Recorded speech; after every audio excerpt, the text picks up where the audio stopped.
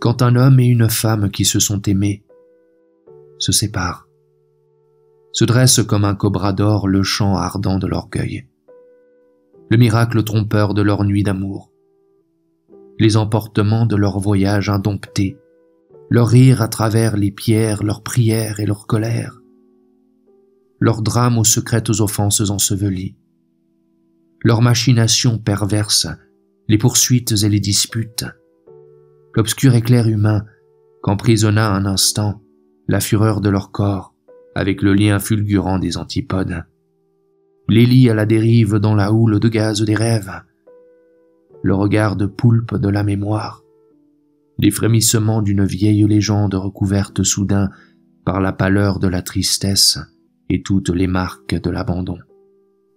Deux ou trois livres et une chemise dans une valise.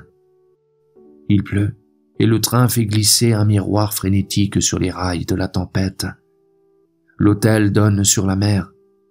Tous ces endroits illusoires, tous ces lieux où n'arrivait jamais tout ce va-et-vient de gens circulant avec des objets, inutiles ou empaquetés, dans des chiffons poussiéreux. Pas ce cimetière d'oiseaux. Tête, attitude, montagne, alcools et ballots de contrebande. Chaque nuit quand tu te déshabillais, l'ombre de ton corps nu grandissait sur les murs, jusqu'au plafond. Les armoires énormes grinçaient dans les pièces inondées. Portes inconnues, visage vierge. Les désastres imprécis des éblouissements de l'aventure, toujours sur le point de partir, toujours à attendre le dénouement, la tête sur le billot, le cœur envoûté par la menace tantalienne du monde.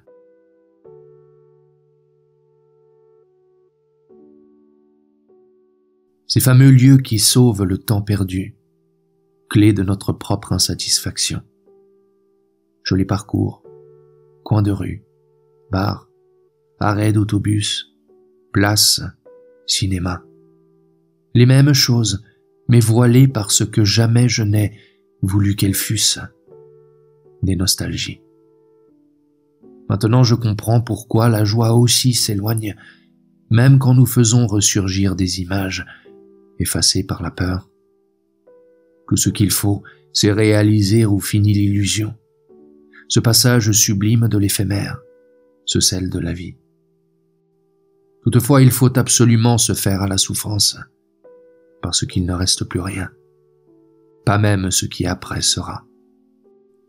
Seulement l'enfer de l'incertitude, seulement l'allégorie illimitée d'une autre vérité, à peine une empreinte de ma véritable image, ou l'incompréhension d'un visage qui nous fit rêver un jour un train vient de partir comme un symbole de ce qui aurait pu être, et nous disons adieu à quelqu'un que nous avons été.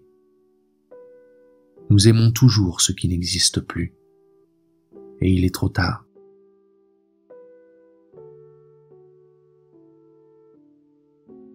Il suffit de ton cœur, fait à la vive image de ton démon ou de ton Dieu, juste un cœur, comme un creuset de braise pour l'idolâtrie. Rien d'autre qu'un cœur amoureux sans défense. Laisse-le à tout vent. Là où l'herbe hurle ses complaintes de nourrice folle, et où il ne puisse dormir. Là où le vent et la pluie abattent leur fouet en un coup de frisson bleu, sans le changer en marbre, ni le fendre en deux. Là où l'obscurité ouvre ses terriers à toute l'émeute, et où il ne puisse oublier. Jette-le alors du haut de son amour dans le chaudron de la brume. Mets-le ensuite à sécher dans le sourd giron de la pierre, et fouille, fouille en lui avec une aiguille de glace jusqu'à extirper le dernier grain d'espérance. Attends que les fièvres et l'ortie l'étouffent, que le taraude le grignotement rituel de la vermine, que l'enveloppe l'opprobre fait des lambeaux de ses anciennes conquêtes. Et quand un jour un an l'aura emprisonné dans la serre d'un siècle, avant qu'il ne soit trop tard, avant qu'en momie fascinante il ne se change, ouvre toute grande et une par une toutes ses blessures, qu'il exhibe au soleil de la pitié, comme le mendiant, qu'il gêne son délire dans le désert, jusqu'à ce que seul l'écho d'un nom montant lui avec la rage de la faim, un bruit lancinant de cuillère contre l'assiette vide. Si malgré tout il survit, s'il est arrivé jusque-là, fait à la vive image de ton démon ou de ton Dieu, alors c'est un talisman plus inflexible que la loi, plus fort que les armes et que le mal de l'ennemi. Confie-lui la garde de ton cœur comme à une sentinelle, mais veille avec lui. Il peut grandir en toi comme la morsure de la lèpre. Il peut être ton bourreau, le monstre innocent, le convive insatiable de ta mort.